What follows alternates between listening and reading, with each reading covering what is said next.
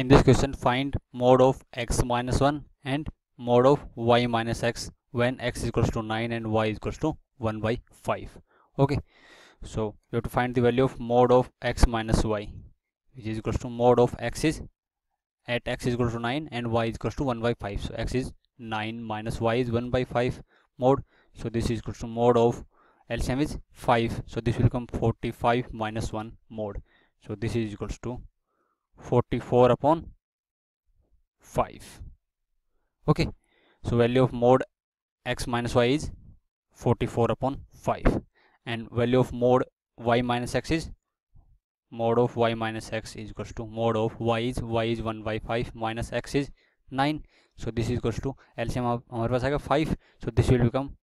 1 minus 45 mode so this is equals to mode of minus 44 upon 5